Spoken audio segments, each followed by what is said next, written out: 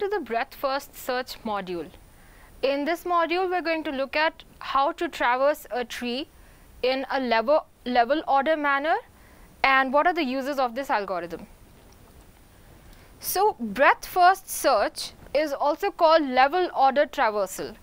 This is because in this algorithm, we try to traverse the given tree level by level.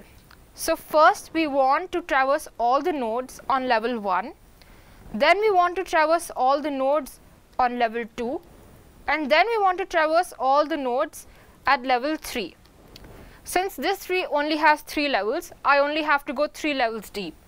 If the tree has more than 3 levels, you will have to do the following, uh, you will have to do the same for all the following levels. So, the order in which I want to traverse my tree in this case will be first 1 which is the root, then I will go down to 2, then I will go to 5, 7 and then I will go to the next level which will be 3, 4, 6, 8 and 9 in this order. Now in this case when we want to do a level order traversal we will have to introduce something like a queue because we need to keep a track of which all children we have explored yet. What I mean to say is that when I look at the root node which is 1, I know that next I want to explore all its children. So, what I will do is I will push 2, 5 and 7 which are the children of 1 into this queue that I am maintaining. Once I am done exploring the first node which has value here 1, I will start popping from my queue. Once I pop a number, suppose I pop 2. When I pop a number, that means I have the permission to explore it. So, I explore 2. Once I explore 2, I can print it and I know that I need to explore all its children, but I need to explore them later. So, I can push them in the queue.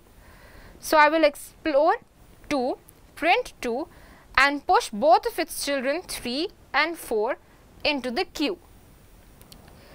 Now, my queue's front is 5. So, I can pop 5, I can explore 5. When I explore 5, I can print it and what I can do next is look at its children which I have to explore later and push them in the queue. So, 6 goes right here into the queue. Now, my next element in the queue is 7. Where I look at 7, I can print 7 and at the same time because I know I have to explore its children at a later stage, I can push 8 and 9 into the queue. Now my queue has a front which has value 3. So at this point we should notice that we have completed traversing level 1 which had one node and we have completed traversing level 2 which had 3 nodes 2, 5 and 7. Now I am moving on to all the children of the nodes which were there at level 2. So now I am moving on to nodes 3, 4, 6, 8 and 9 which are actually at level 3. So now if, we, now if we look at the queue, we will be popping out 3. 3 does not have any children, so I do not have to push anything into the queue. Similarly, I will be popping out 4, 6, 8 and 9. Once I am done with popping all of this, my queue will become empty because I did not have any children to push into the queue when I was popping out each of these leaf nodes.